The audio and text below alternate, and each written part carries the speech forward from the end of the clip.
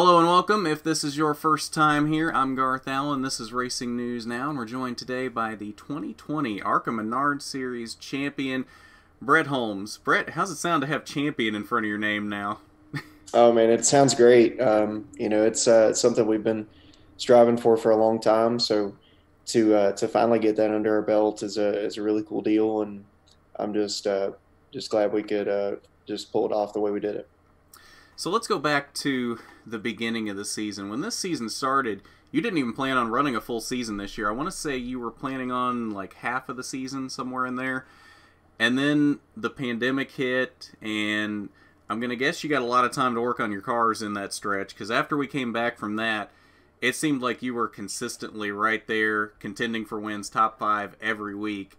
And so, when was the point that you said, okay, we have to run this full season because we can legitimately pull off this championship. Yeah, like you said, I mean, at the beginning, we weren't really planning on doing that. We were going to, you know, run probably like 12 to 14 ARCA races and then um, try to try to start our own little truck program. But um, when the pandemic hit, it, it shut a lot of uh, a lot of places down, especially like chassis builders and stuff like that. So um, we, uh, you know, we so we couldn't really do that, and we knew when the schedule when uh, we started back racing by the time we did, it was going to really condense the schedule and make it tough to do, you know, to to go in two different directions really. So, um, so we really took that time to update some of our ARCA cars, and I really feel like that's where what we're what really turned our team around. And when we started back racing uh, after that, that's uh, you know we uh, we were finishing top three, top five every week, and it uh, um, you know that's when we were like well, we we're we're in contention to win races consistently. Like we're running good at all these different tracks. Like, you know, I think think we got a shot at it now. So, um, you know, it's uh, I, have ran two other full time seasons in the past. Um, I committed to a third one, and then uh, in 2018, and we ended up just stopping because we were running so bad. So, to uh, to have the season be as successful as it is as it was, and um, is just really amazing to me. So let's go back to Kansas. That first career win. Uh, you you mentioned you've done this for so long now in the ARCA Menard series. To finally be able to pull off that first win at Kansas earlier this year, describe that feeling for us. What was that like to finally be able to get that monkey off your back? Man, I mean, it was uh, it was huge. I mean, I can't, you know, uh, put into words, you know, everything I was thinking about as far as like you know some of the really tough moments that we went through um, racing in ARCA and and and some tough decisions we had to make. And um, you know I, uh, like I said I I thought about quitting in the past and um, just because you know when you go so long without being without winning or getting in victory lane it really gets to you. It you know it wants to try your confidence and um, makes you question yourself a lot. And you know, for that to finally happen. I mean, we could see it coming together and as good as we were running, and I felt like we we should have had a couple more wins this season that we let slip away from us from other in, in other races. But um, you know, I know we're uh, we're capable of winning a lot more than just one race right now, and um, so that's that's definitely why I want to come back and and run still run some ARCA races. I still think I've got a little bit more to prove there, and um, I don't know, you know, obviously how many races I'm going to do or uh, in what capacity, but I definitely think you'll see our team next year in ARCA.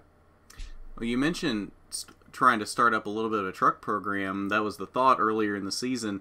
Is that still uh, an idea moving forward, especially now that you've won the championship?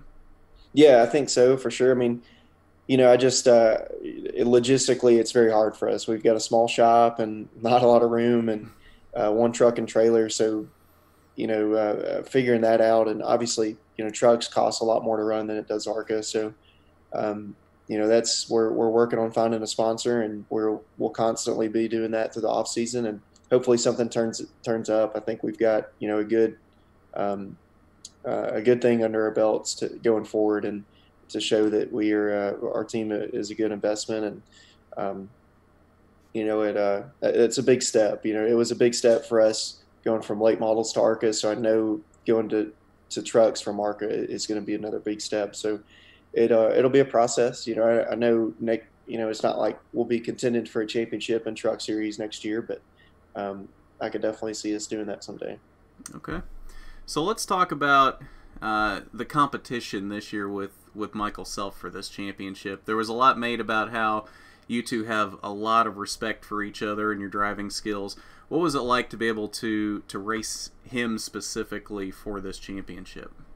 It was cool. I mean, we did a little bit last year, you know, but I felt like Venturini was a little bit better than us last year and um, tough to beat. But you know, over the you know the course of two or three years, you know, we've had a, a few races where we've ran side by side for like you know 10 20 30 laps and it's been really cool um, you know so for it to come down like it did and us kind of being you know one versus one at, at uh, kansas um, you know it, it, was really cool. And i know um, had he not gotten in, in, some wrecks earlier in the season you know it would have been a little bit closer but um, i think we were a little bit more on our game this year and just improved on what we did last year. And i think that that was uh, that made all the difference and um, it was uh, it, it, was really fun, really, and I, uh, you know, I, I, wish the best for him, and I hope, you know, uh, everything he, you know, he decides to do in his racing career is, um, is good, and um, he, like I said, he's a great guy, so I hope the best for him.